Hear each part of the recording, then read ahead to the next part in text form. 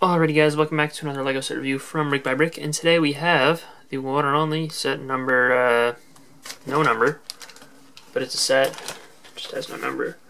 Just kidding, here's the uh, item number down here, 5005359. This is the LEGO minifigure gift frame, and this was a gift with purchase from LEGO.com orders of $75 or more during the month of October, second half, 15th to 31st, I believe and it was also available in stores actually, but you know, it was a Lego Shop exclusive, and yeah, it's uh, basically one of these minifigure frames. They've done them for Marvel and the Lego Batman movie. Uh, they've done them several times before, and they're basically, uh, you know, a frame with a base plate glued in, so you can't remove the base plate, which is a little bit unfortunate, but you know, I'm okay with it for the fact that now it can actually, you know, uh, stay there and not go undone. Uh, it's actually like indented in. It's got this decent cardboard frame around it. Yeah, it's cardboard. It's not like wood or anything.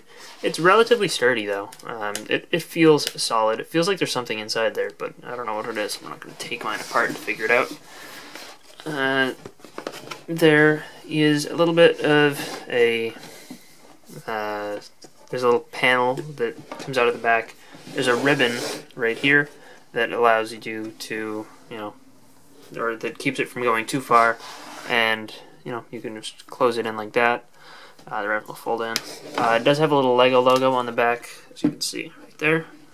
And there is also a little notch in there, so you could put a screw in it or a nail in the wall, and you could hang it up on the wall. So you know, like most picture frames are. Uh, I did not pay the full $75 to get this, by the way. I did just buy it separately for $10. Um, I bought two, actually, because shipping would have been 14 and so, you know. And I figured I have a bunch of minifigures, I can always display them.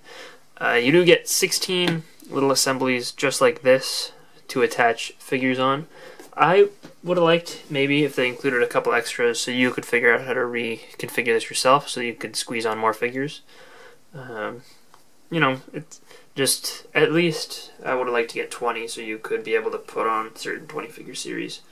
Maybe the uh, maybe going with 22 would have been too much, but you know, 20 I think would have been reasonable. Um, the big highlight here is this exclusive figure, which we will take a look at. For being just a random minifigure to include with this uh, gift frame, they certainly did go above and beyond in designing him. The hairpiece that he uses is actually a really, really recent mold introduced with Professor Flitwick in the Harry Potter series, and this is actually a new color as well. It's done in reddish brown. Uh, yeah, it, I'm very happy to you know get this part here it's, you know, it's cool to get a recolor of such a recent piece. I like the sunglasses that he has here. It worked well with his hair as well, you know. Uh, I like that face. He does also have an alternate face, though, which is a really funny expression. Yeah, I like that. And he does come with this really large rubber duck piece, which was introduced to the LEGO Batman movie Series 1 with Vacation Batman. Uh, very happy to get it here in a regular uh, color scheme with, you know, no bat mask. It's a little weird that the uh, bill is red, but, you know, it's, it's a cartoonish duck. I'm okay with that. Uh, on, or for the legs, he just has dual molded blue and yellow legs. I believe those have existed before. I could be wrong, but you know, it's always cool to get more of them. I think they were in fun at the beach. Maybe I know there was red and I know there was green in front of the beach, at least I'm pretty sure. Uh, his torso is cool. He's got a little stud muffin shirt, which is uh, it's kind of funny. Actually says stud instead of Lego on the stud. It is, it's a cool little shirt to have here. And there is no printing uh, of a logo on the back, but you do get good detailing around there. Like, even more than I would have expected, to be honest. There's a good amount of fine lines, even down at the bottom yeah, I don't know. I'm happy with this figure on the whole. Um, you know, I'd be lying if I said that this wasn't one of the main reasons I wanted to get this uh, promotional set. But let's see what it looks like when you fill it up with figures. So there we go. We got a frame filled with Series 17 for uh, the Lego minifigures theme.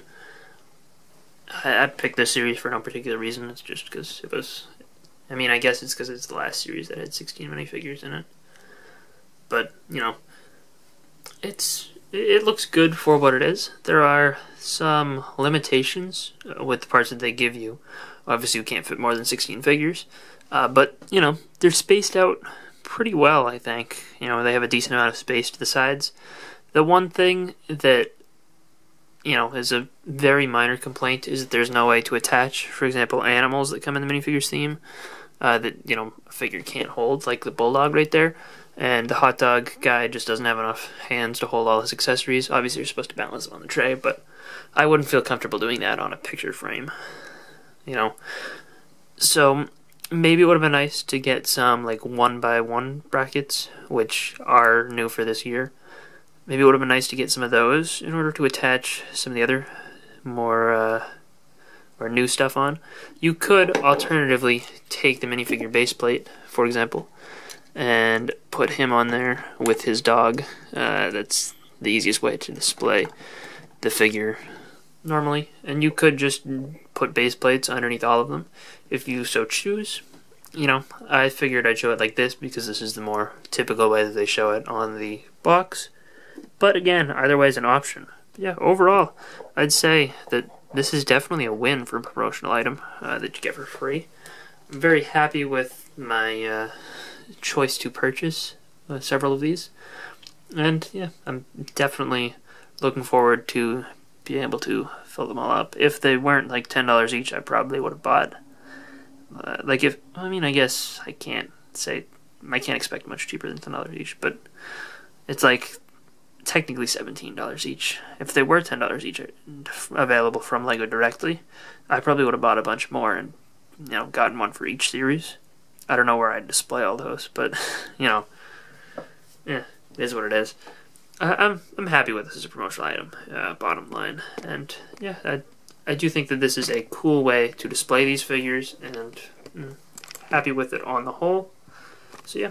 Hope you guys enjoyed. Obviously, you guys can't go and get these for free from LEGO anymore. It's uh, past expired. But if you can get one of these for relatively affordable in the aftermarket, I would still recommend it. So, I hope you guys enjoyed. Uh, if you did, let me know in the comment section down below. Let me know. I have two of these, so which two series do you think would look best on these? Obviously, uh, it's easier to display the uh, 16 figure series. And once I get series 1, I feel like uh, that's it's a good idea to display series 1 on here. Maybe I'd go with series 1 and then rotate out the newest 16 figure series. We'll see. I'll figure it out, and maybe I'll show you guys once I figure out what I'm going to put on these. I've also seen some really other cool things done with it. But, uh, yeah, uh, that's it for this video. Hope you guys enjoyed. If you did, let me know in the comment section down below. I'll see you guys all next time. Bye, everyone.